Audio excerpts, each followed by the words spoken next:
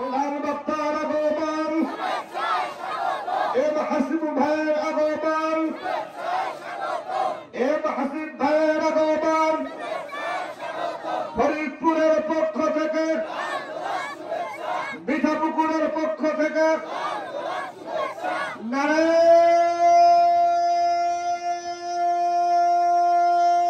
তাকবীর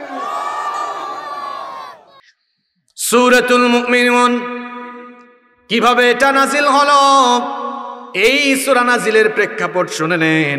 নাসা এর বর্ণনা এসেছে।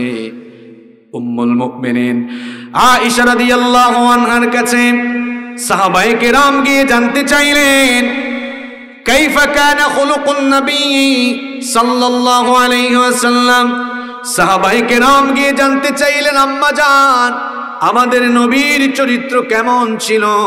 আম্মা জান আয়েশা রাদিয়াল্লাহু আনহা তখন বললেন, কি ব্যাপার তোমরা কি কোরআন পড়ো না? এই যে দেখেন আমার হাতে যে কোরআন আপনারা দেখছেন, এই কোরআনটা হলো প্রিন্টেড কোরআন, আর আমার নবী ছিলেন প্র্যাকটিক্যাল কোরআন। আম্মা জান আয়েশা রাদিয়াল্লাহু আনহা বলছেন, কানা খুলুকুহুল কোরআন। আমার নবী হচ্ছেন কোরআনের বাস্তব নমুনা। আল্লাহ আকবার! কিছু সাহাবি বললেন, ওগো আমাদের মা, বুঝলাম কোরআনের বাস্তব নমুনা হলেন আমাদের নবী, কিন্তু আমাদের নবীর চরিত্রের প্রধান প্রধান যে গুণগুলো ছিল, সেই গুণগুলো সম্পর্কে আমাদেরকে বলেন আম্মা জানা সেরাদি আল্লাহ তখন বললেন, সাহাবিরা শোনো আল্লাহর রসুলের চরিত্রের মধ্যে প্রধান প্রধান যে গুণগুলো ছিল, সেই গুণগুলো আল্লাহ সূরাতুল মুমিনুনের শুরুতে বলে দিয়েছেন। আবার দেখেন, আবার দেখুন, অন্য বর্ণনা এসেছে, মুসনাদে আহমদের ভেতরে হাদিস বর্ণিত হয়েছে সেইদিন আমর ইবনুল খাত্তাব রাদিয়াল্লাহু আনহু ইসলাম গ্রহণ করার কিছুদিন পরে সূরাতুল মুমিনুন নাজিল হয়েছিল। আল্লাহর নবীর কাছে সাতটি তরিকায় ওহি নাজিল হতো। এর মধ্যে একটি তরিকা হলো, আল্লাহর নবীর কাছে ওহি নাজিল হলে মৌমাছির গুঞ্জনের ন্যায় আওয়াজ ধ্বনিত হতো। অমর ইবনুল খাত্তাব রাদিয়াল্লাহু কিছু সংখ্যক সাহাবিদের সাথে নবীজির সামনে বসে আছেন। সেই সময় হঠাৎ করে মৌমাছির গুঞ্জনের মতো আওয়াজ ধ্বনিত হলো। সাহাবায়ে কেরাম বুঝতে পারলেন হয়তো বা এখন নবীর উপরে অহিনাজিল হচ্ছে এই জন্য সাহাবিরা চুপ হয়ে গেলেন। অমর ইবনুল খাত্তাব তিনিও সেখানে ছিলেন, তিনিও চুপ হয়ে গেলেন। আল্লাহর নবী চুপ হয়ে যাওয়ার পরে কিছুক্ষণ পর তিনি কেবলামুখী হয়ে গেলেন। কেবলামুখী হয়ে তিনি বললেন, আল্লাহুম্মা জিদনা ওয়ালা তানকুসনা ওয়া আকরিমনা ওয়ালা তুহিন্না ওয়া আতিনা ওয়ালা তাহরিমনা ওয়া আথিরনা ওয়ালা তু'থির আলাইনা ওয়ারদিনা ওয়ারদা আন্না আল্লাহ নবী কিবলামুখী হয়ে দোয়া করলেন, হে আল্লাহ, তুমি আমাদেরকে দান করো, আমাদেরকে বঞ্চিত করো না। তুমি আমাদেরকে সম্মানিত করো, আমাদেরকে অপমানিত করো না। আমাদের উপরে নামত বাড়িয়ে দাও, কম করে আমাদেরকে দিও না। আমাদের উপরে অন্যের প্রভাবকে বিস্তার করো না। বরং অন্যের উপর আমাদের প্রভাবকে তুমি বিস্তার করাও। আমাদের উপরে তুমি খুশি হয়ে যাও, আর তোমার উপরে আমাদেরকে রাজি করো, খুশি করো। এই দোয়াটা কমপ্লিট করার পরে আল্লাহর নবী সাহাবিদের দিকে মুখ করে বললেন, ও আমার সাহাবীরা, শোনো শোনো। এই মুহূর্তে আল্লাহ তাআলা আমার উপরে এমন কয়েকটি আয়াত নাজিল করেছেন। এই আয়াতগুলোর ভেতরে আল্লাহ এমন কিছু গুণাবলীর কথা বলেছেন। এই গুণগুলো যদি তোমরা তোমাদের জীবনে অর্জন করে ফেলতে পারো, আল্লাহ আমাকে ওয়াদা দিয়েছেন এই গুণাবলী অর্জন করবে যারা, জান্নাতুল ফেরদাউসের ওয়ারিস হয়ে যাবে তারা। এরপরে আল্লাহর নবী সাহাবিদের সামনে তার উপরে নাজিল হওয়া আয়াতগুলো তিনি তেলাওয়াত করলেন। আমিও এখন আপনাদের সামনে সেই আয়াতগুলো তেলাওয়াত করব। আপনারাও আমার সঙ্গে ঠোঁট মেলাবেন। আল্লাহর নবী সুরাতুল মুমিনুনের আয়াতগুলো তেলাওয়াত করা শুরু করলেন। সবাই আমার সঙ্গে পড়েন। কদ আফলাহাল المؤمنون الذين هم في صلاتهم خاشعون والذين هم عن اللغو معرضون والذين هم للزكاة فاعلون والذين هم لفروجهم حافظون إلا على أزواجهم أو ما ملكت أيمانهم فإنهم غير ملومين فمن ابتغى وراء ذلك فأولئك هم العادون والذين هم لأماناتهم وعهدهم راعون والذين هم على صلواتهم يحافظون أولئك هم الوارثون الذين يرثون الفردوس هم فيها خالدون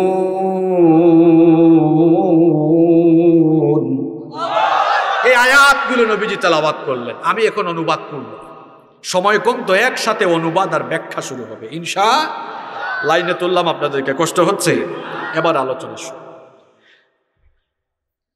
প্রথম আয়াত নাজিল হলো, কদ আফলাহাল মুমিনুন। অবশ্যই সফল কাম হয়েছে তারা। মোমেন যারা successful indeed are the believers সফল কাম তারা, মোমেন। What do you mean by success সফলতা বলতে আপনি কি বুঝেন? আমরা মনে করি কম বয়সে যারা পয়সাওয়ালা হয়েছে, তারাই জীবনে সফল।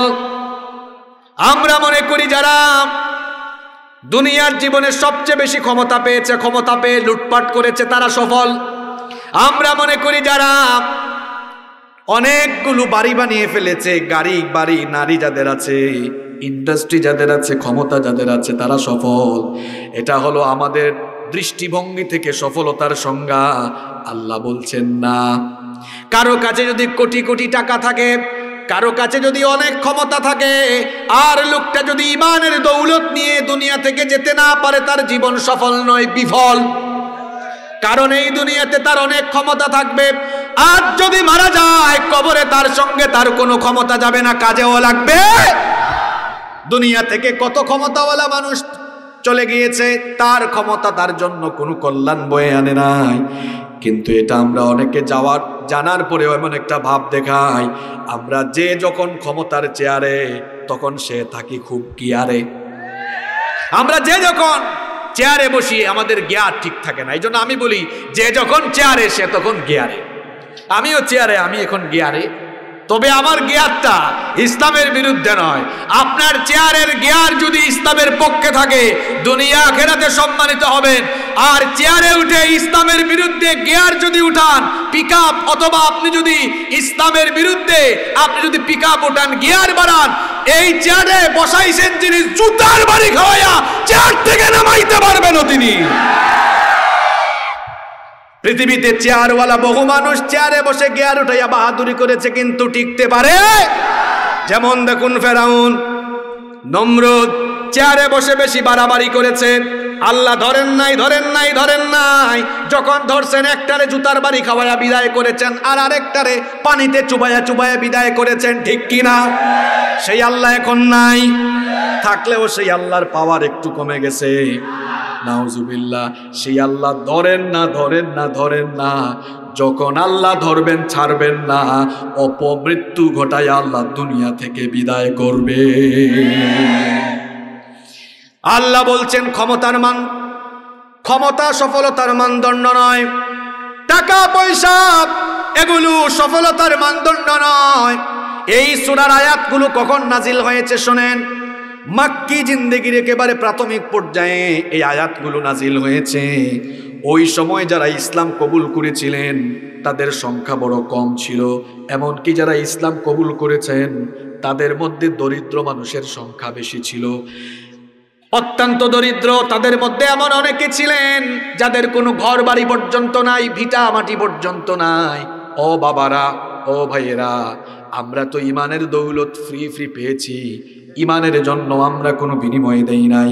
কিন্তু আল্লাহ রসুলের সাহাবিরা ইমানের জন্য তারা বিনিময় দিয়েছেন।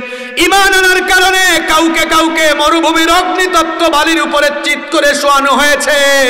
ইমান আনার কারণে কারও কারও উপরে নির্যাতন, নিপীড়নের স্টিম রুলার নেমে এসেছে।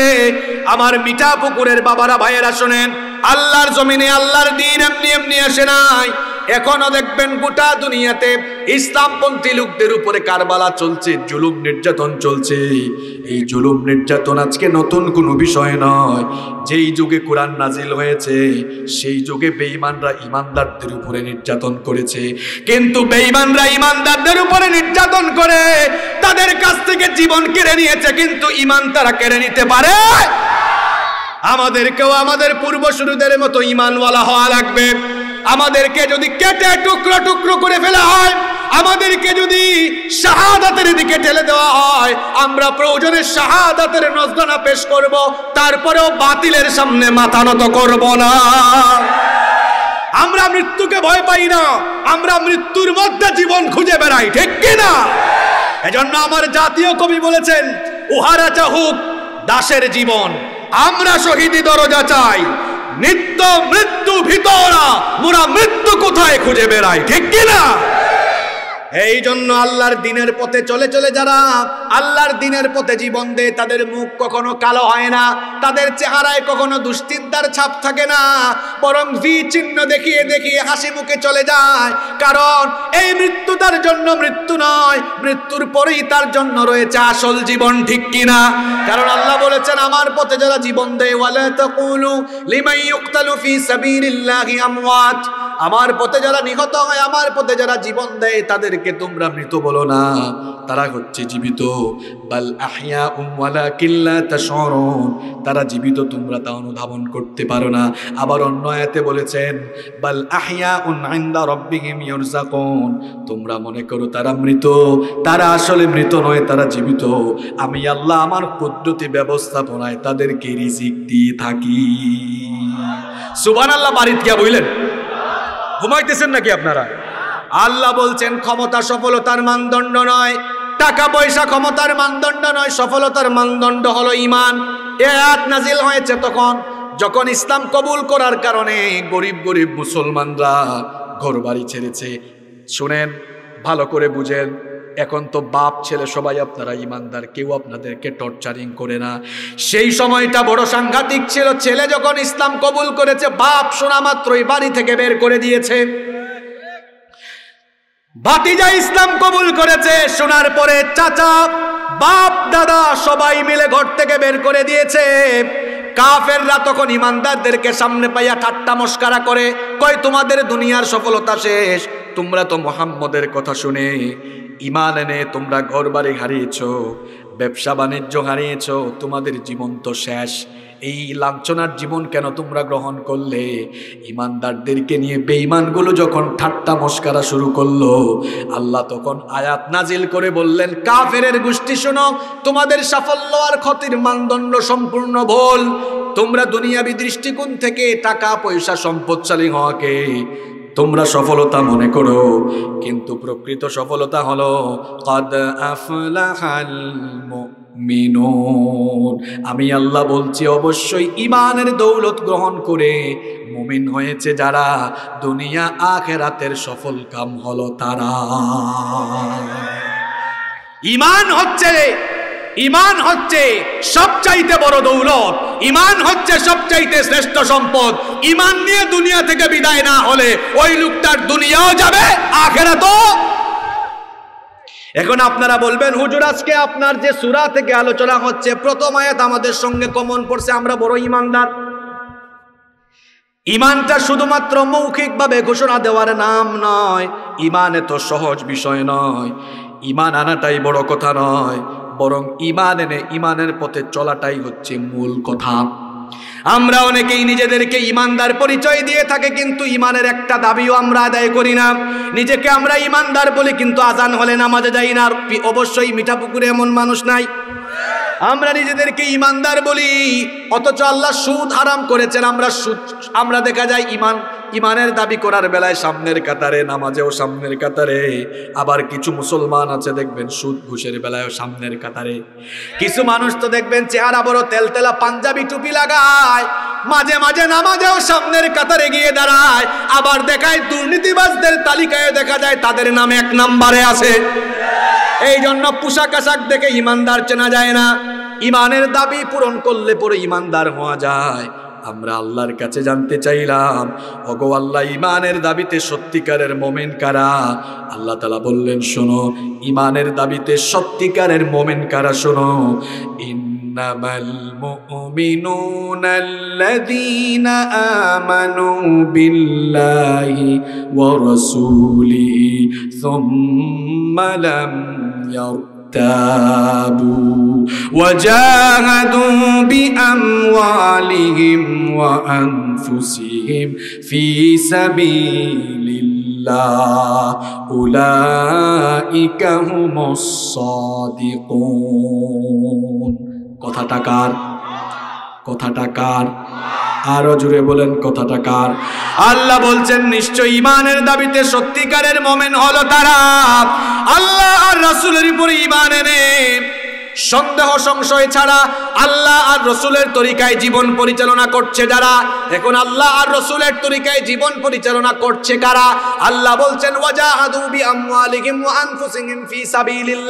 আল্লাহর দেওয়া জান আর মালকে আল্লাহর পথে বিনিয়োগ করে যারা? সত্যিকারের মোমেন হলো তারা।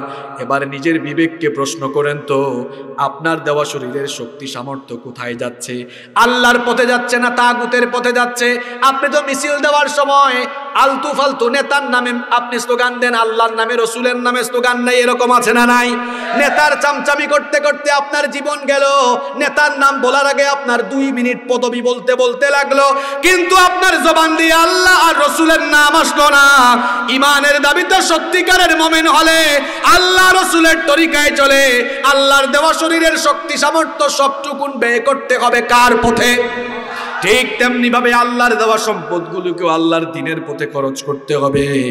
আল্লাহ তালা বলছেন, এভাবে করে জান আর মাল আমার পথে বিনিয়োগ করে যারা সত্যিকারের খাঁটি ইমানদার হলো তারা, আর ইমানদার যারা দুনিয়া আখেরাতের প্রকৃত সফল হলো তারা। তাহলে সফল কাম কারা? বসেন।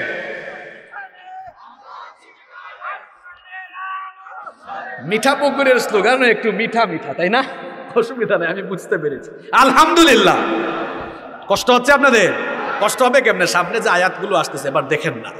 আল্লাহ বলছেন, কদ আফলাহাল মুমিনুন successful indeed at the believers সফল কাম, অবশ্যই সফল কাম। তারা ইমানদার। এবার আমরা বললাম, আল্লাহ, আপনি কোন সব ইমানদারদেরকে সফল এবং জান্নাতি বলছেন? আল্লাহ বলছেন, তোমাদের উত্তর দিচ্ছি। দুই নাম্বার, পরের আয়াত থেকে আল্লাহ বলছেন, এই এই এই এই এই এই গুণগুলো অর্জন করবে যারা সফল হয়ে জান্নাতুল ফেরদাউসে প্রবেশ করবে তারা। এবার দেখি জান্নাতুল ফেরদাউসে যাওয়ার আকাঙ্ক্ষা কারা কারা হৃদয়ে লালন করেন? দুহা দেখান। লিল্লাহি তাকবীর। মিঠা মিঠা স্লোগান না, দেখি আরেকটু আওয়াজ করে দেন। লিল্লাহি তাকবীর। লিল্লাহি তাকবীর। লিল্লাহি তাকবীর। আসলে স্লোগানটা দেওয়াইছি, কিছু মানুষ জিমাইতেছে। এই জিমানুটা চলে গেছে। আমরা আল্লাহকে বললাম, আল্লাহ, কোন সব গুণাবলী সম্পন্ন মোমেনরা সফল কাম? আল্লাহ বলছেন, শোনো, দুই নম্বর আয়াত থেকে এবার আল্লাহ শুরু করছেন, কদ আফলাহাল মুমিনুনাল্লাযীনা হুম ফি সালাতিহিম খাশিউন। Successful indeed at the believers. Those who humble themselves in their prayer. সফল কাম হয়েছে তারা নামাজে খুশু অবলম্বন করে যারা। তাহলে সুজা কথা, সংক্ষেপে যদি বলি, খুশুবিহীন নামাজ আদায় করে যারা, বিফল হলো? প্রশ্ন হলো খুশোটাকে হোয়াট ইজ খুশো? কথা বললেন না প্লিজ কোরআন থেকে কথা বলছি তো। ধারাবাহিক আলোচনাটা শুনে যান। খুশো কি হোয়াট ইজ খুশু হোয়াট ডু মিন বাই খুশো খুশো ইটস এন অ্যারাবিক ওয়ার্ড এর বাংলা অর্থ হচ্ছে ভীত হয়ে যাওয়া, বিনম্র হওয়া, অবনত হয়ে যাওয়া, ঝুঁকে পড়া, কারও শক্তি, প্রতাপ, শ্রেষ্ঠত্বের ভয়ে তার সামনে বিনয়ী হয়ে যাওয়া, এটাকে আরবিতে বলে খোস এ যুবক ভাইরা শোনো keep in your mind fearless salad has no value খুশুবিহীন সালাতের কোনো দাম আল্লাহর কাছে খুব ভয়ঙ্কর একটা হাদিস শোনেন। তাবরানের বর্ণনায় বিশুদ্ধ সনদে এই হাদিস বর্ণিত হয়েছে। নবীজি বলেছেন, আউয়ালু শাইইন আউয়ালু শাইইন ইউরফাউ মিন হাদিহিল উম্মতি আল খুশু সালাহ। আল্লাহর নবী বলেছেন, কেয়ামতের আগে এই উম্মত থেকে নামাজের খুশুটা সবার আগে উঠে যাবে। কেয়ামতের আগে মসজিদগুলো সুন্দর হবে। মসজিদগুলো মানুষ কোটি কোটি টাকা দিয়ে খরচ করবে, কিন্তু মসজিদে ঢুকার পরে অনেক মুসল্লিও পাওয়া যাবে। কিন্তু তারা মসজিদগুলোতে খুশু আদায়ের সাথে মুসল্লি সংখ্যা খুব কম খুঁজে পাওয়া যাবে। এখন প্রশ্ন হলো খুশুবের সাথে নামাজ আদায়কারী নয় কারা? উত্তর হলো, সংক্ষেপে বলছি, এক নাম্বার, তাড়াহুড়া করে নামাজ আদায় করে যান। দুই নাম্বার। শুনতেছেন আপনারা?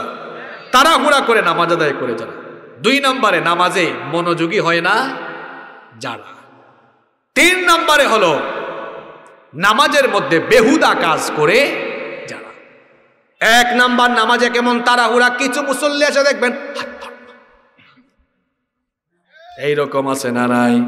দেখবেন এক মিনিটে দুই রাকাত বিশেষ করে রমজান মাস আসলে দেখা যায় তারাবি পড়ে না তাড়াতাড়ি পড়ে, আল্লাহ জানে। এই রকম করে নামাজ নিয়ে ফাইসলামি করে যারা, খুশুবিহীন নামাজ আদায়কারী হলো তারা। খবরদার নামাজের মধ্যে তাড়াহুড়া করবেন না, কার সামনে তাড়াহুড়া করেন? মালিকের সামনে গুলাম দাঁড়িয়েছে, মালিকের সামনে গুলামের কখনো তাড়াহুড়া প্রদর্শন করা চলে না। তাহলে নামাজের মধ্যে তাড়াহুড়া করে যারা, খুশু আদায়কারী নামাজি নয় তারা, দুই নাম্বারে বলছিলাম, নামাজের মধ্যে মনোযোগী হয় না যারা। দেখবেন কিছু মুসল্লি নামাজে ঢুকলে নামাজে মনোযোগ নাই, কিছুক্ষণ পর পর গড়ির টাইমের দিকে তাকায়, হুজুরের তেলাওয়াত লম্বা হলে সিগন্যাল মারে। এরকম কুতাকুতি নামাজের ভেতরে আসে না নাই? এরা হচ্ছে বেয়াদব মুসল্লি। আবার দেখা যায় অনেকে মসজিদে ঢুকে ফ্যান গুনে, এক বন্ধু আরেক বন্ধুকে নামাজ থেকে বের হইয়া বলে, দুস্ত দেখছত নাকি? কি মসজিদ? বাপরে বাপ, মসজিদের মধ্যে একশো ছয়টা ফ্যান আছে। ওই বন্ধু কই কিরে দোস্ত, তুই জানলি কেমনে?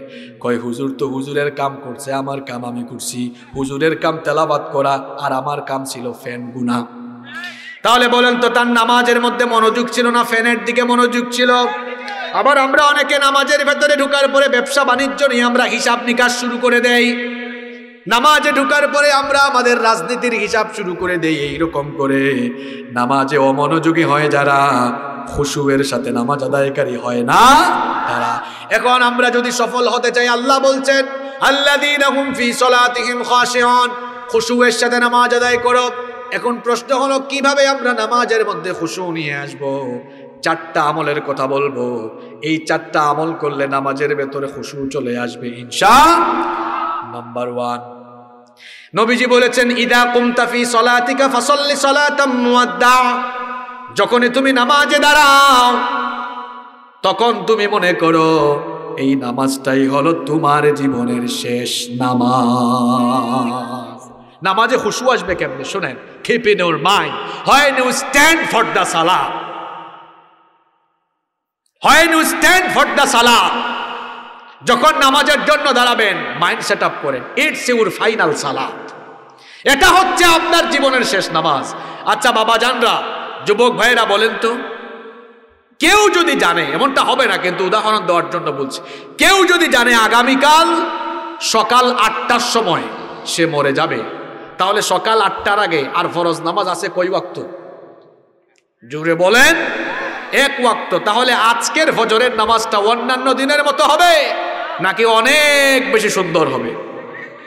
মনোযোগ বাহিরে যাবে না, তাড়াহুড়া হবে না, দেখা যাবে আজকের অজুটা সুন্দর হবে। আজকের নামাজটাও সুন্দর হবে, তেলাওয়াত সুন্দর হবে, রুকু, সাজদা ধীরস্থির ভাবে হবে। নামাজে খুশু আনার জন্য যখনই যে নামাজে দাঁড়াবেন, আপনার ভেতরে এই অনুভূতি নিয়ে আসবেন, এটাই হচ্ছে আমার জীবনের শেষ নামাজ। তাহলে দেখবেন মনোযোগ আর বাহিরে যাবে। দুই নাম্বার, যখন আপনি নামাজে দাঁড়াবেন, নামাজটাকে বুঝে বুঝে আদায় করার চেষ্টা করবেন। নামাজটা কি? সালাত is a conversation between almighty Allah and the slave নামাজ হচ্ছে আল্লাহ আর বান্দার মধ্যে কথা বলার জায়গা। সোবাহান আল্লাহ পড়েন যখন আপনি নামাজে দাঁড়ান, আপনার আমার সঙ্গে যিনি কথা বলেন, তিনি কে? আমরা, আমাদের সাথে আল্লাহ কথা বলেন, কিন্তু আমরা বুঝি না।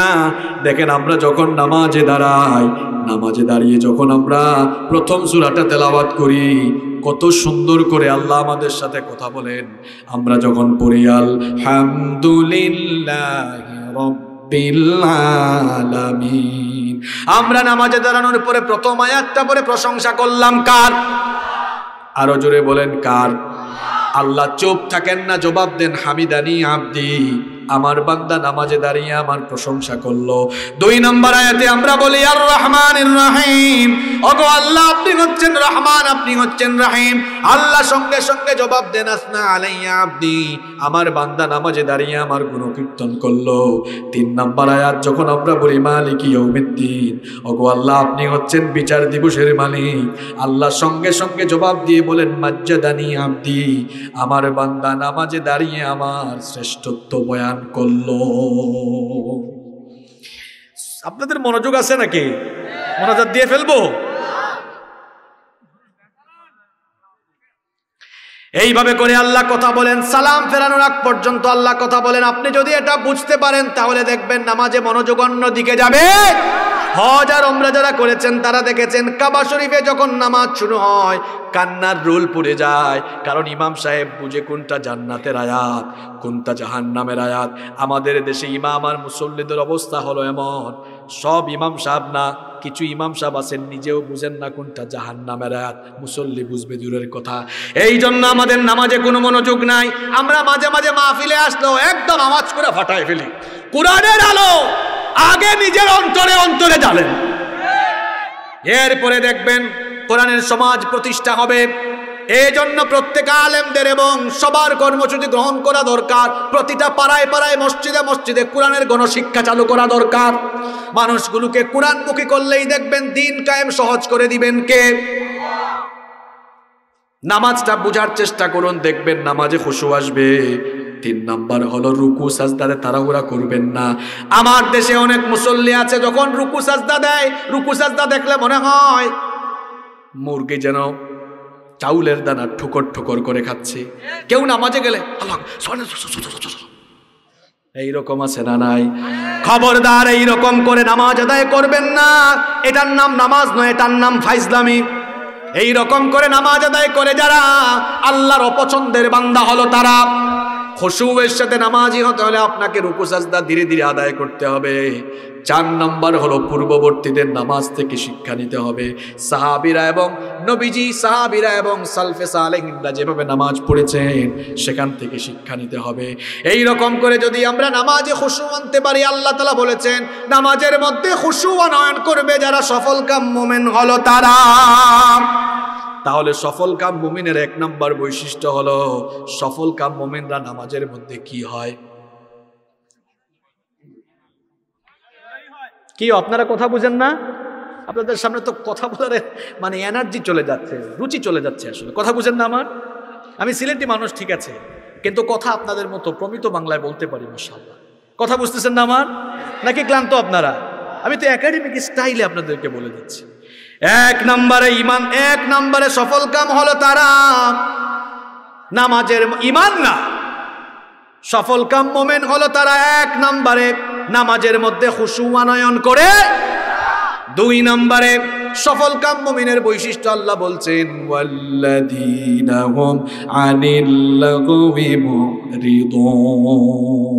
যুবকদের ওয়াজ চলে আসছে। আল্লাহ বলছেন successful indeed are the believers those who avoid vain talk এবার যুবকরা শুনো, এবার যুবকদেরকে বেশি শোনা লাগবে, এটা যুবকদের সাথে সম্পর্কিত কথা বেশি এখানে। আল্লাহ বলছেন, সফল কাম হলো তারা অনর্থক, বেহুদা, অপ্রয়োজনীয়, ফালতু কথাবার্তা কাজ থেকে নিজেকে হেফাজত করে কেন আমি এখানে যুবকদের কথা বললাম? কারণ বর্তমান সময়ে যুবকরা অহেতুক ফালতু কাজ নিয়ে ব্যস্ত।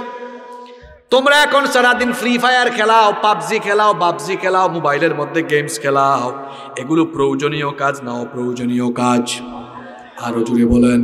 আবার এখন বিশ্বকাপের সময় এসেছে, বিশ্বকাপের খেলা চলছে আর যুবকরা অহেতুক কাজে লিপ্ত হয়েছে। ঘরের মধ্যে চাউল নাই, আর্জেন্টিনা ব্রাজিলের পতাকা লাগায়। আর্জেন্টিনা আর ব্রাজিলের মিছিল করতে করতে এক গ্রুপের সাথে আরেক গ্রুপ ঝগড়া লেগে যায়।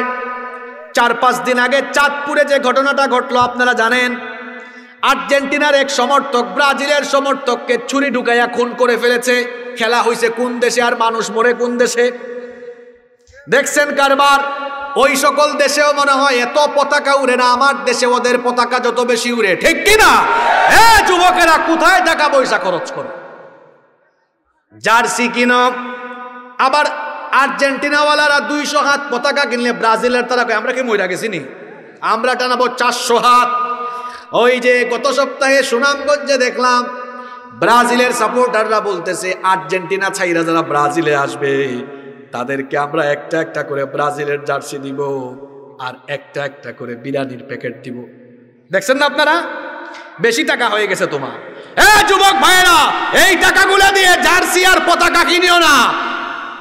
এই টাকাগুলা গরিব মানুষদেরকে দাও, অসহায়দেরকে দাও, বিধবাদেরকে দাও, এতিমদেরকে দাও, আল্লাহ তোমার উপরে রাজি হয়ে যাবেন, ঠিক কি না? কোথায় এসব ফালতু কাজে সময় নষ্ট করো? আল্লাহ সুরা মোমেনুনে বলেছেন, সফল কাম মোমেন হলো তারা অহেতুক কাজ থেকে নিজেদেরকে বিরত রাখে যারা খেলা দেখতেছো, ঠিক আছে, খেলা নব্বই মিনিটের খেলাই তো দেখে ফেলো। কিন্তু এই খেলা নিয়ে এত বেশি ঝামেলা করো না। এখন খেলা দেখতে দেখতে তোমাদের অবস্থা হয়েছে এমন। প্লেয়ারদেরকে তোমরা ফলো করা শুরু করেছ। কোথাকার কোন মেসিয়ার নেইমার তার স্টাইলে তোমরা চুল কাটো? কোথাকার কোন মেসিয়ার নেইমার এদেরকে দেখে দেখে তোমরা শরীরের মধ্যে ট্যাটু আঁকো? ট্যাটু তো আপনারা মুরব্বীরা অনেকে দেখেন না, এই ইয়াং পোলা পাইনেদের শার্ট খুলা দেখেন, গলার মধ্যে, ঘাড়ের মধ্যে, বুকের মধ্যে ট্যাটু আছে, আপনারা জানেন না। ওই দিন আমি বগুড়ায় মাহফিল করতেছি, এক যুবক এসে আমাকে বলে, হুজুর, আপনার সাথে আমার গোপন কিছু কথা আছে। আমি বললাম, ভাই, কি গোপন কথা? কই হুজুর, খুব সাংঘাতিক গোপন কথা। বললাম, এখানে কি বলা যায় না? কয়, না, হুজুর, দায়িকা গোপন জায়গায় নিয়ে গেছে। আমিও ভাবলাম, হায় রে, হায়, না জানি সে কি বলবে? কিছুক্ষণ পরে দেখি শার্টের বুতাম খুলে। আমি ভাবলাম, হায় হায়, এই যুবক এখন শার্টের বুতাম খুলে কেন? শার্টের বুতাম খুলতেছে বলতেছে, হুজুর, কিছু মনে কইলেন না, একটা জিনিস আপনারা দেখাবো। আমি ভাবলাম, না জানি কি জিনিস দেখায়। শার্টের বুতাম খুলে এদিকে একটু টানতে দেখায়। চক্ষু থেকে দেখলাম, কিছুটা পানিও পড়তেছে, সে অনুতপ্ত। বলতেছে, হুজুর, না বুঝে আমি এই কামটা করে ফেলেছি। এখানে ট্যাটু এঁকে ফেলেছি। আমার কি ভালো হওয়ার রাস্তা নাই? আমি বললাম হ্যাঁ অবশ্যই আছে। দুনিয়ার মানুষ ভুল করলে এক মানুষ আর এক মানুষকে ধরে শাস্তি দেয়। আর আমার আল্লাহ অপরাধী খুঁজেন অনুতপ্ত অপরাধীকে আল্লাহ ধরে ধরে মাফ কইরা দেয় আমি বললাম, তুমি তো অবাক করো। এখানেও যদি এমন কোনো যুবক থাকে, দেখেন না, বিশ্বকাপের মধ্যে মেসি আর নেইমার কিংবা তাদের পছন্দের খেলোয়াড়ের হাত পায়ে ট্যাটু আছে, তারাও ট্যাটু আঁকে। এই যে এখানের মধ্যে আছে, আমি স্পষ্ট দেখতেছি, কয়েকজনের চুলের কাটিং এর অবস্থা খারাপ। যুবকরা চুল ফালা এমন করে। কি আর বলতাম, যুবকদেরকে মাহফিলেও পাওয়া যায়, রাত একটার সময় ব্রাজিলের খেলায়ও পাওয়া যায়। কোন দিক, আজকে খেলা? শোনো যুবক পুলা পাই দেখে ফেলিও, নব্বই মিনিট তো, দেখে ফেলিও। কিন্তু এই তামসাগুলো কইরো না। এই যে চুল কাটিং তোমাদের কিছু কিছু ছেলে পেলেদের চুলের কাটিং দেখে আমি অবাক হয়ে যাই। ডান দিকে চুল নাই, বাম দিকে চুল নাই, পেছন দিকেও নাই। এই যে এখানেও এরকম কয়েকজন আছে, আমি এদেরকে দেখে আর লজ্জা দিব না। এটাকে আমরা, এটাকে আমি সিলেটি ভাষায় নাম দিয়েছি মুরগা চুট স্টাইল আপনাদের এলাকায় দেশি মুরুগ আছে না দৌড়ান্য মুরুগ দেখবেন দেশি মুরুগের মাথার মধ্যে কি আছে? এটাকে জুট বলেন মনে হয় আপনারা। আপনারা কি বলেন? জুট, না? তো এদের ডানে বামে, পিছনে চুল নাই, আছে শুধু এখানে। এজন্য মুরগ কাটিং ঠিকই বলছো। হ্যাঁ যুবকরা মুরগ কাটিং চুল রাখা বাদ দাও। সব দিকে চুল রাখো। আবার মেসি যেমন চুল রাখে, সেও সেরকম চুল রাখে। এক যুবককে দেখলাম চুল এমন কাটিং, চুল কাটিং করে ফেলাইছে দেখলাম চুলের মধ্যে। এটারে কি জানে কয়, বেলি না বেরি? কি কয়? ওই যে এরকম বান্ধিছে আর কি কি বলে? ভেরি বাচ্চে বললাম, তোমার অবস্থা এমন কোন? কয় হুজুর, আমার পছন্দের প্লেয়ারের চুল এরকম। আবার একদিন আমি সেলুনের মধ্যে দেখলাম এক লোক, একটা যুবক ছেলে নাপিতকে বলতেছে, ভাই, চুল ফালানো তো শেষ হইল। ওই যে বলছিলাম, ব্লেড দিয়ে একটা মাঝখানে টান মারতে। দেখবেন কিছু ছেলেরা চুল ফালায়, ব্লেড দিয়ে মাঝখানে এদিক দিয়ে টান মারে। হয়তো এখানেও আছে। খবরদার যুবক ভাইরা খেলা দেখতেছো, দেখে ফেলো, কিন্তু তারা তোমার আদর্শ হতে পারে না। আদর্শ হচ্ছেন মুহাম্মদ সাল্লাল্লাহু আলাইহি ওয়াসাল্লাম। এরা আদর্শ নয়, চুল কাটতে হবে নবীজির তরিকায়, মাথা থেকে নিয়ে পা পর্যন্ত যাকে অনুসরণ করতে হবে তিনি হচ্ছেন মুহাম্মদ সাল্লাল্লাহু অনর্থক কাজে তোমরা সময় নষ্ট করো না। বিশ্ববিদ্যালয়ে যখন পড়তাম, ছাত্র জীবনে লক্ষ্য করেছি অনেক ছাত্ররা বিশ্ববিদ্যালয়ের হলে থাকতাম, রাতের বেলা ডাইনিং এ একটা আরেকটারে কয়, দুস্ত, আজ রাতে রিয়াল মাদ্রিদ আর খেলা আছে, রাত তিনটায়। এলার্ম লাগা, এলাম লাগায় ঘুম থেকে উঠ। আহারে এলাম দিয়া অনেক ছেলেরা তিনটার সময় উঠে তার পছন্দের টিমের খেলা দেখে। কিন্তু এলাম দিয়া ফজরের সময় সে ঘুম থেকে উঠে মসজিদে যেতে পারে না। হ্যাঁ যুবক ভাইরা, এরকম খেলা দেখে তামাশা করে করে সময়গুলো নষ্ট করো না। আমাদেরকে দুনিয়াতে সময়গুলো দিয়েছেন কে? সুতরাং এই সময়গুলোকে কাজে লাগাতে হবে কার জন্য? আল্লাহ বলছেন, মোমেন হলো তারা, সফল কাম মোমেন হলো তারা, এ সকল অনর্থক, বেহুদা, ফালতু কথাবার্তা কাজ থেকে, বিরত থেকে, সময়গুলোকে কাজে লাগায় যারা সফল কাম মোমেন হলো তারা। সুতরাং যুবক ভাইরা সময়গুলো নষ্ট করে না, শোনো কেয়ামতের দিন জাহান্নামীরা জাহান্নামে গিয়ে সবার আগে সময়ের ব্যাপারে আফসোস করবে। জাহান্নামীরা জাহান্নামে যাওয়ার পরে সবার আগে তারা সময়ের ব্যাপারে আফসোস করে বলবে, ইয়াকুলু ইয়া লাইতানি লিহায়াতি। আফসোস! আমি যদি আমার ফেলে আসা হায়াত, ফেলে আসা সময়গুলো আবার পেতাম, আর পাওয়া যাবে? কথা বলছেন না কেন? পাওয়া যাবে? আরবিতে একটা প্রবাদ আছে, আল ওয়াক্তু কাসাইফ সময় হচ্ছে তরবারির মতো। ইল্লাম কতাক আপনি সময়কে কাটতে পারবেন না, কিন্তু সময় আপনাকে কেটে ক্ষত বিক্ষত বানায় ফেলবে। সময় আমাদের জন্য অপেক্ষা করে না, আমরা সময়ের জন্য অপেক্ষা করি। যে সময় চলে যায়, ওই সময় ফিরে আসে না। এই জন্য দুনিয়ায় যে সময়গুলো দেওয়া হয়েছে, এই সময়গুলো ফালতু কাজ করে আমরা কাটাবো না। আল্লাহ বলেছেন, এই সময়গুলো বেহুদা কাজ করো না। কাজের কাজ করো, নইলে কেমতের দিন আফসোস করবেন। আফসুস করে তখন আর কোনো লাভ হবে? আল্লাহ বলছেন, মোমেন বান্দাদের বৈশিষ্ট্য হবে এমন। আল্লাহ তাআলা কোরআনে কারিমে বলছেন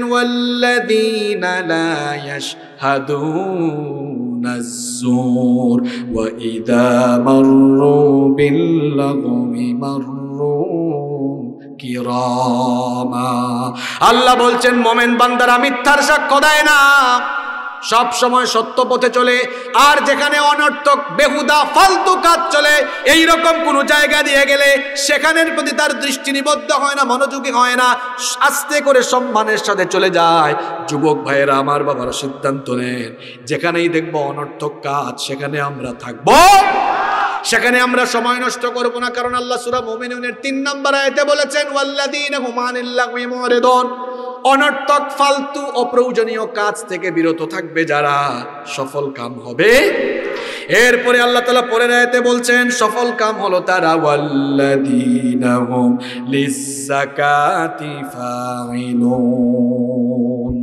successful indeed are the believers those who Allah তালা বলছেন, সফল কাম হচ্ছে তারা those who active in giving জাকাত জাকাতের পথে কর্মতৎপর থাকে যারা। এটার সবচেয়ে লেটেস্ট তফসির আমি পেলাম।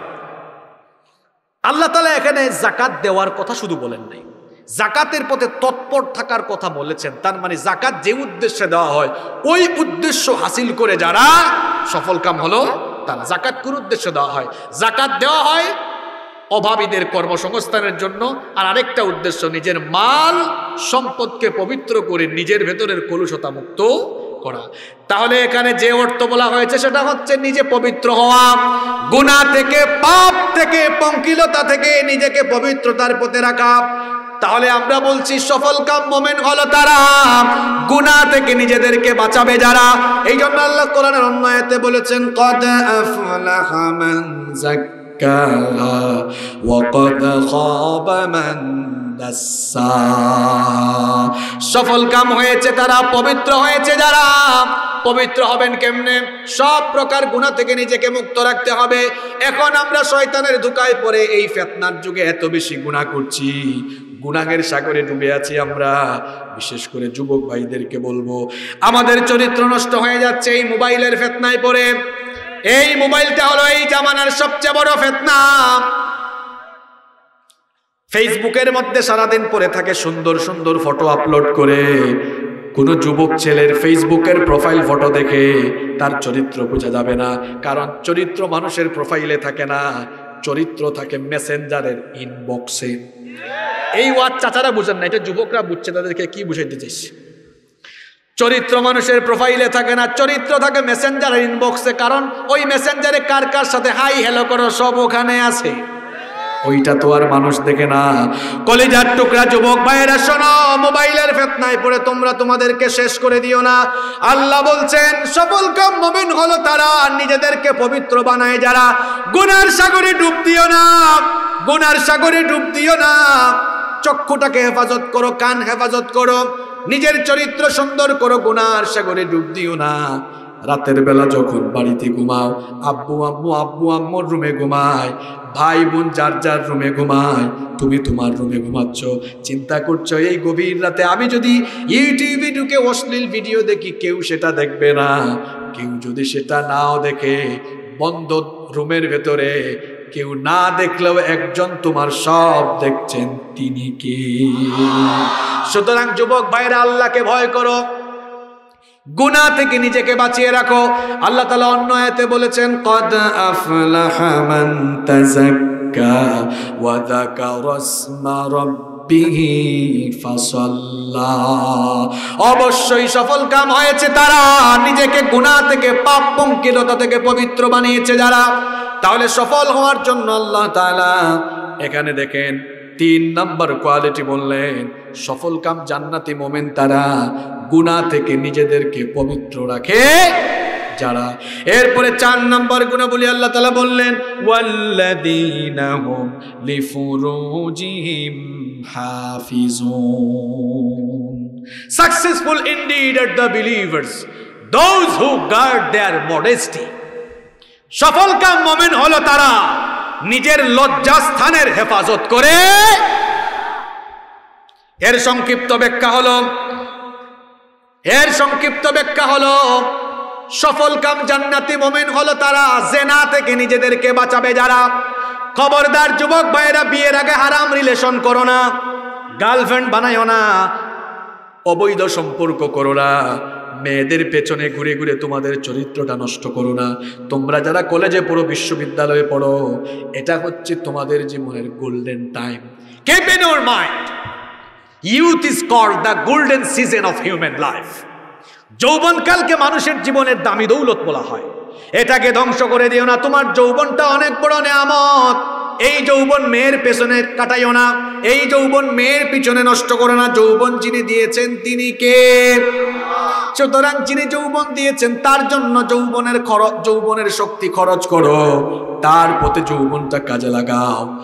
খবরদার খবরদার, গার্লফ্রেন্ড বানায়া হারাম রিলেশন করো না। হারামের মধ্যে আল্লাহ কোনো আরাম রাখেন? খবরদার, তুমি যদি বিয়ের আগে অবৈধ সম্পর্ক করো, বিয়ের পরে কোনোদিনও তুমি দাম্পত্য জীবনের বরকত পাবা না, ঠিক কি না যাদের বিয়ে করার বয়স হয়েছে, বিয়ে করে ফেলো। সামর্থ্য থাকলে বিয়ে করো, সামর্থ্য না থাকলে রোজা রেখে আল্লাহর কাছে সাহায্য প্রার্থনা করো, এতে করে আল্লাহ যৌন চাহিদা, কামনা বাসনা নিয়ন্ত্রণে রাখবেন, হেফাজতে রাখবেন। খবরদার হারাম রিলেশন করো না, মেয়ের পেছনে করো না, কোনো ভদ্র ছেলে কখনো মেয়েদের পেছনে ঘুরতে পারে। নিজের চরিত্র সুন্দর বানাও, মন দিয়ে এখন পড়াশোনা করো, পাঁচ ওয়াক্ত নামাজ পড়ো, আব্বা আম্মার খেদমত করো। চরিত্রকে সুন্দর বানাও, পড়াশোনা করে তুমি প্রতিষ্ঠিত হও। ক্যারিয়ারটাকে সুন্দর বানাও। মেয়ের পিছনে ঘোরা লাগবে না। দেখবা সুন্দরী মেয়েদের বাপ তোমার কাছে মেয়ে বিয়ে দেওয়ার জন্য লাইন ধরে বসে আছে। যুবক ভাইরা, রাস্তাঘাটে মিসকিনের মতো মেয়েদেরকে টিজ করো না। তোমাদের খাসলত্ব হলো কারও কারও এমন। এমন মিসকিনের মতো, ভিক্ষুকের মতো রাস্তায় চলো। তিন চারটা বন্ধু একসাথে চললে মেয়েদের দিকে তাকাইয়া একটা আরেকটারে কয় দুস্থ যা জিনিস দেখছি মাথা খারাপ। তোমার এত মাথা খারাপ হয় কেন? আল্লাহ কোরআনে বলেছেন, কুল্লিল মুমিনিনা ইয়াগুদ্দু মিন আবসারিহিম। কথাটা কার? আল্লাহ বলছেন, চক্ষুকে পরনারী থেকে নিম্নগামী করো, নিচের দিকে তাকাও, খবরদার। পরনারীর দিকে দৃষ্টি দিও না। মেয়েদেরকে ডিস্টার্ব করো না, চরিত্রকে সুন্দর করো। দেখবা তোমাকে উত্তম জীবন সঙ্গী যিনি দান করবেন তিনি কি? দাম্পত্য জীবনে মজা পাবা, সুখ পাবা, শান্তি পাবা।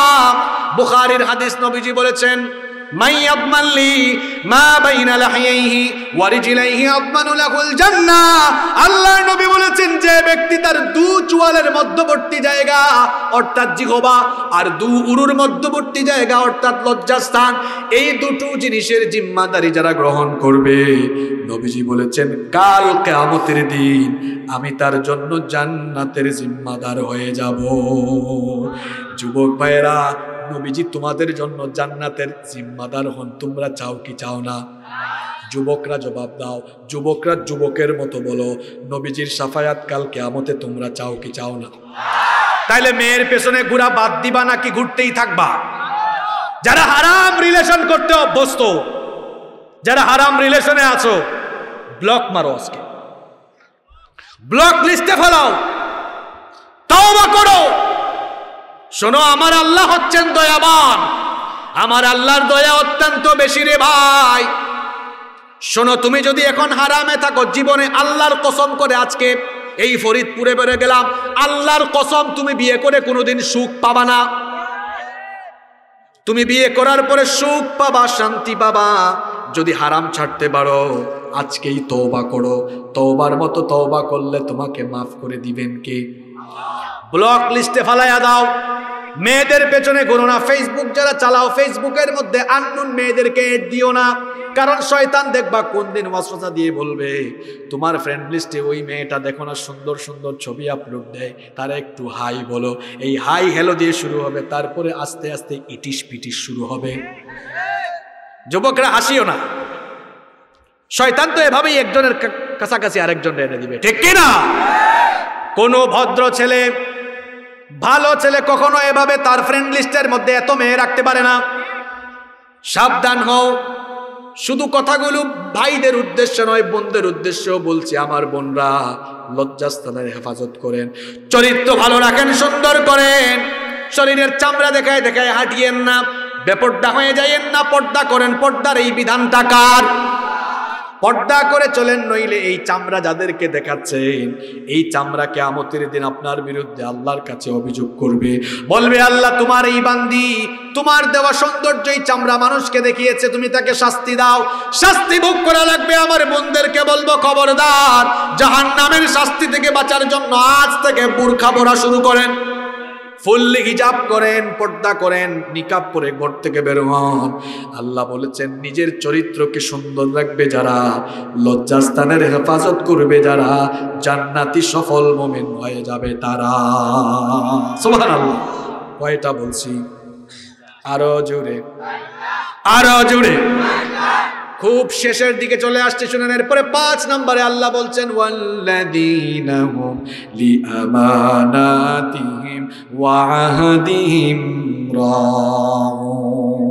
আল্লাহ বলছেন, সফল কাম, জান্নাতি মোমেন হলো তারা। আমানত আর ওয়াদার ব্যাপারে সচেতন যারা। জুড়ে বলেন আমানত আর কি? আরও জোরে, আমানত কি? আমানত হলো কোনো একটি কাজ দায়িত্বের সাথে সম্পন্ন করা, এটার নাম হলো আমানত। আমানতের খেয়ানত যখন দুনিয়ায় শুরু হয়ে যাবে, তখন কেয়ামত চলে আসবে। আল্লাহর নবী বলেছেন, আল্লাহর নবীকে সাহাবীরা জিজ্ঞেস করলেন মাতা সাহা ও নবী, কখন কেয়ামত হবে? নবীজি বললেন, ইদা দুইয়াদিল আমানাতি ফান্তাজিরিস যখন চতুর্দিকে আমানতের খেয়ানত শুরু হবে তখন কেয়ামত চলে আসবে। সাহাবীরা বললেন সবাই পড়েন, সাল্লাল্লাহু আলাইহি ওগো আল্লাহর নবী, আমানতের খেয়ানত হবে কেমনে? নবীজি বলছেন, ইদা দুইয়াতিল আমানাতি ফান্তাজিরিস চতুর্দিকে যখন যোগ্যতার চেয়ারে অযোগ্য মানুষ বসবে, তখন আমানতের খেয়ানত শুরু হয়ে যাবে। আমানতদার লোকদেরকে আমানতের চেয়ারে বসানো দরকার, নইলে কখনো সুখ শান্তি পাওয়া যাবে। সমাজটা বদলে যেত যদি আমরা আমানতদার মানুষদের হাতে দায়িত্ব তুলে দিতে পারতাম, ঠিক কিনা? আমরা মসজিদে গিয়ে নামাজ পড়ি, কিন্তু নামাজের শিক্ষা আমরা সমাজে আনতে পারলাম না। যদি নামাজের শিক্ষা সমাজে আনতে পারতাম, তাহলে আমাদের সমাজটা বদলে যেত। দেখেন, নামাজের মধ্যে একজন ইমাম আছে না নাই? আসতে বলবেন না, জুড়ে বলেন, ইমাম আছে না নাই? ও ইমামের তেলাওয়াত যদি অশুদ্ধ হয়, কিছু কিছু ইমাম আমি আমাদের সিলেটে দেখছি, বাথরুমে গিয়া বিড়ি সিগারেট টানে, মনে হয় আপনাদের এলাকায় এরকম নাই। এখানেও আছে। এখন বলেন তো, যদি এইরকম কোনো ইমাম দেখেন, মাঝে মাঝে বিড়ি সিগারেট খায়, তেলাওয়াত অশুদ্ধ তার বউ যদি পর্দায় না থাকে, এই লোকটার পিছনে নামাজ পড়বেন নাকি? আরও জোরে তাহলে বোঝা গেল আমরা খুব সচেতন না অসচেতন। বুঝা গেল আমরা আমানতদার লোককে এই ইমামতির জায়গায় দিই, যার ইমামতির যোগ্যতা আছে। তো এটা যদি আমানতদারিতার সাথে করতে পারে, তাহলে মসজিদের বাহিরে যে ইমাম, সমাজের দায়িত্ব পরিচালনার সময় কেন আপনি এটা চিন্তা করেন না? একজন মুসলমান তো অযোগ্য ইমামকে যেমন তার মসজিদের ইমাম বানাবে না, ঠিক তেমনি অযোগ্য অপদার্থ চোর, ডাকাত, চাঁদাবাজ, টেন্ডারবাজ, দুর্নীতিবাজকে তার সমাজের নেতাও বানাতে পারে না। এদেরকে যদি সমাজের নেতা বানানো হয়, সমাজের মধ্যে দেখবেন অশান্তি লেগে থাকবে, ইনসাফ হবে না, সুষম বন্টন হবে না। দেখা যাবে আমানতের খেয়ানত হবে। জনগণের কাছে জনগণের আমানত পৌঁছাবে না। জনগণের কাছে জনগণের আমানত পৌঁছাবে না। ছোট্ট একটা কিস্সা ছোট্ট একটা কাহিনী আমার মনে পড়েছে। আমি বলব? বলব? খারাপ লাগছে না তো? অমর ইবনুল খাত্তাব রাদিয়াল্লাহু আন, অর্ধ পৃথিবী তিনি শাসন করেছিলেন। তার শাসন আমলে তিনি একদিন ঘরের মধ্যে মোমবাতি জ্বালিয়ে কাজ করছেন। সেই যুগে কারেন্ট ছিল না। এই রকম ইলেকট্রিক্যাল লাইটও ছিল না। ঘরের মধ্যে তিনি মোমবাতি জ্বালিয়ে কাজ করছেন। হঠাৎ করে তার কিছু আত্মীয় স্বজন দেখা করতে এসে দরজায় নখ দিলেন। আসতে পারি? বললেন, না ওয়েট দাঁড়াও। দরজায় আটকে দিলেন। তারপরে তিনি তার সামনে থাকা মোমবাতির আগুন ফু দিয়ে নিভালেন। নতুন আর একটি মোমবাতিতে আগুন ধরালেন। এরপরে বললেন, তোমরা ভেতরে আসো। এরা ভেতরে ঢুকেই কিউরিসিটি চেপে রাখতে না পেরে জিজ্ঞেস করল, আমিরুল মুমিনিন। আপনার সামনে তো একটা মোমবাতিতে আগুন জ্বালানো ছিল। সেটা ফু দিয়া নতুন করে আরেকটা মোমবাতিতে আগুন জ্বালালেন কেন? অমর রদি আল্লাহ তখন বললেন, তোমরা আসার আগ পর্যন্ত আমি রাষ্ট্রের টাকায়, জনগণের টাকায় কেনা মোমবাতির আগুন জ্বালিয়ে, আমি জনগণের পক্ষে রাষ্ট্রের কল্যাণে অফিসিয়াল কাজ করছিলাম। তোমরা যখন ভেতরে আসার জন্য অনুমতি চাইলে, মনে মনে ভাবলাম, রাষ্ট্রের টাকায়, জনগণের টাকায় কেন মোমবাতির আলো জ্বালিয়ে আমি যদি তোমাদের সঙ্গে ব্যক্তিগত কথা বলি, আমানতের খেয়ানত হবে, জনগণের সম্পদ নষ্ট হবে, রাষ্ট্রের সম্পদ নষ্ট হবে, আল্লাহর কাছে আখেরাতে জবাব দেওয়া লাগবে। এই ভয়টা যখন কলিজায় আসলো, সঙ্গে সঙ্গে রাষ্ট্রের টাকায় কেনা মোমবাতির আগুন ফু দিয়ে নিবি। নিজের টাকায় কেনা মোমবাতির আগুন জ্বালিয়ে তোমাদের সঙ্গে কথা বলছি। এমন যদি হতো, আমাদের নেতা হতো অমরের মতো হতো, আবু বকরের মতো। চাই কি চাই না? আরও জোরে। চাই কি চাই না? এমন যদি হতো, আমাদের নেতা হতো অমরেরই মতো হতো, আবু বকরের মতো। জনগণের খোঁজ খবর নিত রাত দুপুরে, ঘুরে ঘুরে দেখতো কি কেউ আছে অনাহারে আমার দেশের মা বোনেরা লাঞ্ছিতা হতো না। আমার দেশের কৃষক শ্রমিক বঞ্চিত হতো না। ধনী গরিব ভালোবাসার জীবন ফিরে পেত। যদি আমাদের নেতা হতো, অমরেরই মতো হতো, আবু বকরের মতো। ঠিক কিনা? এরকম আল্লাহওয়ালা তাকওয়াবান কুরআনওয়ালা নেতা পাচ্ছি না বলে এই দেশে এত নেয়ামত। এত নেয়ামত আর কোনো দেশে নাই। দেখেন, মধ্যপ্রাচ্যের ছোট ছোট দেশগুলো, এরা আজ থেকে পাঁচ, ছয় যুগ আগে এদের বাপ দাদার আমলে, এদের দাদার আমলে এরা মরুভূমির উটে, এরা মরুভূমিতে উট চালাইছে। উট চড়াইছে, ছাগল ছাগল চড়াইছে। এখন তারা দেখেন কত উন্নত হয়ে গেছে। এই যে মধ্যপ্রাচ্যের ছোট্ট দেশ কাতার, বিশ্বকাপে যে খরচ তারা করছে, এই টাকা দিয়ে বাংলাদেশে চল্লিশ বছর বাজেট দেওয়া যাবে। ছোট্ট একটা দেশ এত উন্নত হয়েছে কেমনে? শুধু তেলের খনি পাইয়া না, সেখানে কোরআনের কিছু আইন আছে, সব তো নাই, কিছু আছে। কিছুতে যদি এত শান্তি, পুরা থাকলে না জানি কত শান্তি হইতো। এই দেশে কি নেয়ামতের কম আছে, কমতি আছে? এই উত্তরবঙ্গে কত নেয়ামত? উত্তরবঙ্গের মাটি তো সোনার মাটি, যা ফেলা হয় মাটি এত উর্বর, শুধু চাষাবাদ আর চাষাবাদ, ঠিক কি না? আমি লালমনির হাটে গিয়ে দেখলাম, তিস্তা নদীতে বালুর মধ্যে ভুট্টা। আলহামদুলিল্লাহ বলেন, আমার বাড়ি সিলেটে। সিলেটে কি নেয়ামত? আছে পাথরের খনি আপনারা তো দেখেন নাই মাটি খুললেই শুধু পাথর পাওয়া যায় সুবাহ আছে গ্যাসের খনি। এই দেশে এত খনিজ সম্পদের খনি, এত কিছু থাকা সত্ত্বেও উন্নত হয় না কেন? কারণ এই দেশে চোর, বাটপার আর দুর্নীতিবাজদের খনি একটু বেশি। যদি এই দেশে আল্লাহওয়ালা মানুষগুলোর হাতে আমরা দায়িত্ব সুপর্দ করতাম, এই দেশ মধ্যপ্রাচ্যের এই উন্নত দেশগুলোর চাইতে আরও বহু শীর্ষে চলে যেতে পারত। বঙ্গবন্ধুর একটা কিচ্ছা আমার মনে পড়ছে। বলব? আমার দেশের স্বাধীনতার স্থপতি মরহুম বঙ্গবন্ধু শেখ মুজিবুর রহমান সাহেবের একটা ঘটনা। তাকে সাধারণ মানুষ ভালোবাসত। একবার এক গ্রামের লোক ভালোবেসে গ্রামের কিছু শাক সবজি এগুলো নিয়ে বঙ্গবন্ধুর বাসায় গিয়েছে। বাসার নিচে দারোয়ান আছে। মাঝে মাঝে দেখবেন সারের চাইতে দারোয়ানের হেডাম একটু বেশি থাকে। দারোয়ান আটকাই ফেলছে "এই, কোথায় যাব স্যারের কাছে আসছি। এগুলো স্যারকে দিব। না না না। যাইতে পারবা না। আমার কাছে দাও, আমি দেব। এখন বেচারা গ্রাম থেকে আসছে, যেভাবেই হোক, বঙ্গবন্ধুর সামনে যাবেই, যাবে। তারে একটু ধাক্কা দিয়া চলে গেছে উপরে। বঙ্গবন্ধুর কাছে যাওয়ার পরে বললেন, কি ব্যাপার? সে বলল, স্যার, আপনার জন্য এগুলো আমার নিজের ক্ষেতের জিনিস নিয়ে আসছে। বঙ্গবন্ধু খুশি হলেন, তার সাথে কথা বললেন, হাসি মুখে বিদায় দিলেন। বিদায় দেওয়ার পর ওনার মনে পড়ল, আহারে, লোকটা আসছে। কিছু বকশিস দিলে ভালো হইতো, লোকটা খুশি হইতো। দারোয়ানকে ডেকে বলেন, এই, বিশ টাকা নাও।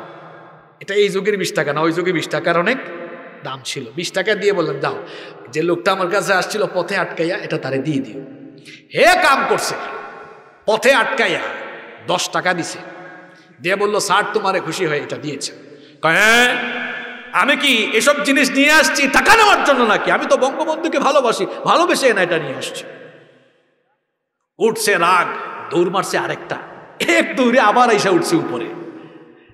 এসে কয়, স্যার, এই নেন আপনার টাকা আপনার কাছে রাখেন। আমি কি টাকা নেওয়ার জন্য আপনার কাছে এগুলো আসছে? এই নেন আপনার টাকা। বঙ্গবন্ধু টাকা হাতি নেওয়া বা কিরে, তোমারে দিলাম বিশ টাকা, তুমি দেখি ফেরত দাও দশ টাকা? কয়, স্যার, আমি তো দশ টাকাই পেয়েছি আপনার দারোয়ান তো দশ টাকা দিয়েছে। বঙ্গবন্ধু তখন আফসোস করে বলেছিলেন, আহারে, কোন দেশকে আমি সোনার দেশ বানাবো? যেই দেশে উপরের তলা থেকে বিশ টাকা নিচের তলায় নামতে নামতে দশ টাকা হয়ে যায়। এই রকম চোরের খনি, যে সমস্ত চোররা আমার আশপাশে থাকে, এদেরকে দিয়ে তো আমি এই দেশকে সোনার দেশ বানাতে পারব না। শুধু মুজিব কুট গায়ে দিলেই বঙ্গবন্ধুর আদর্শের সৈনিক হওয়া যায় না। এই রকম বঙ্গবন্ধুর মতো সৎ সাহস নিয়ে এই কথাগুলো বলা লাগবে। ওনার অনেক সুন্দর সুন্দর বক্তব্য যুবকরা ইউটিউবে শুনবা। সুন্দর সুন্দর বক্তব্য আছে না? বঙ্গবন্ধু একবার আফসোস করে বলেছিলেন, এতগুলো কম্বল আসলো, আমারও তো কম্বল ছিল, নিজের কম্বলটা আমি পাইলাম। এই দেশে এত নিয়ামত আছে, যদি ইনসাফওয়ালা, তাকওয়াবান, পরহেজগার লোকদের হাতে দায়িত্ব দেওয়া যেত, এই দেশ সুখ শান্তিতে ভরে যেত, ঠিক কিনা এই জন্য আমাদেরকে মানুষ চিনতে হবে। আল্লাহর রসুলের আদর্শে আদর্শিত যারা আমাদের সমাজের নেতা হবে তারা, ঠিক কিনা? এই জন্য আমরা আমাদের আমানতগুলো তাদের হাতে তুলে দিব, ইনশা আল্লাহ বলেছেন, সফল কাম জান্নাতি মোমেন হলো তারা আমানতের ব্যাপারে সচেতন যারা এবং ওয়াদা রক্ষার ব্যাপারে সচেতন যারা লাদিন আলিমাল্লাহ যার মধ্যে ওয়াদা রক্ষা করার অভ্যাস নাই, তার মধ্যে ইমান আমানতার ওয়াদা রক্ষা করে যারা সফল কাম মোমেন হলো তারা। এরপরে সাত নম্বর গুণ আল্লাহ তালা বললেন ওয়াল্লাযীনা হুম আলা সালাওয়াতিহিম ইউহাফিজুন। এটা কয় নাম্বার গুণ? দেখে একটু রিভিশন দেই।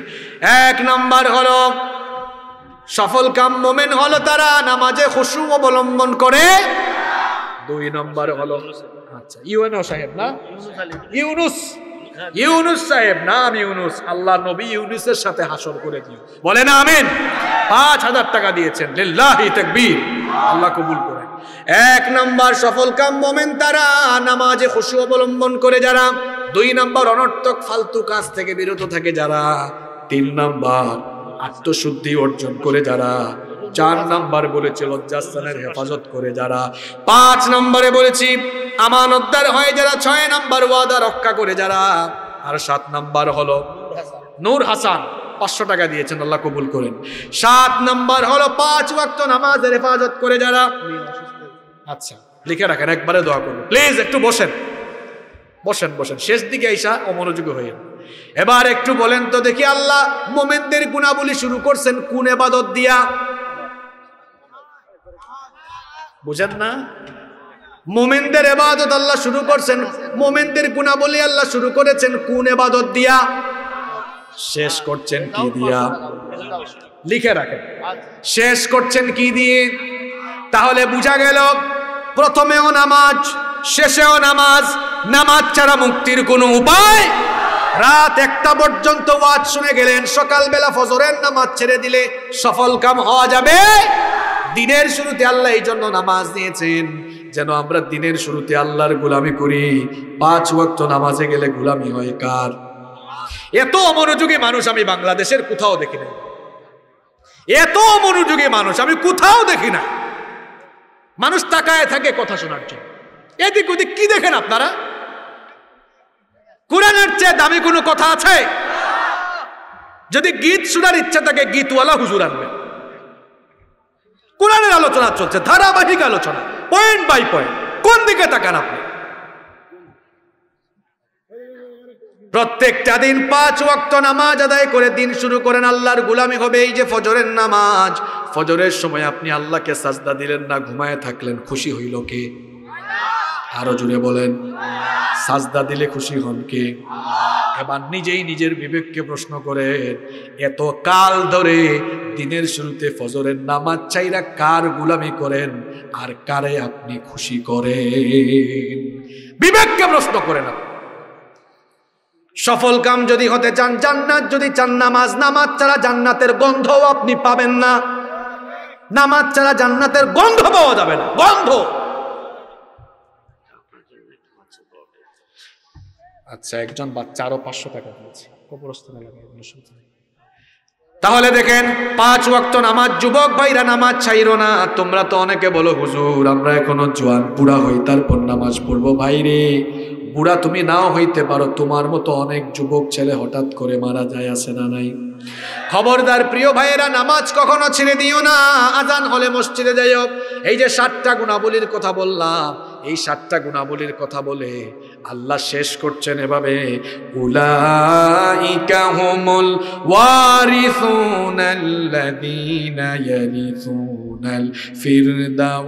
হুম ফিহা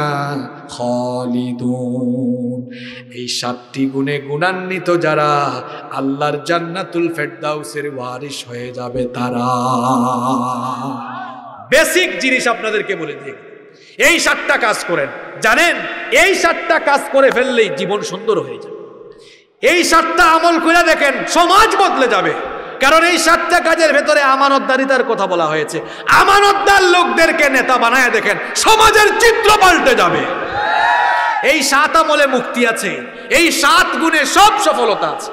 আসুন, এই সুরার মধ্যে যে সাতটি আমলের কথা বলা হয়েছে, আমরা এই আমলগুলো করি। আল্লাহ আমাদের সবাইকে তৌফিক দান করি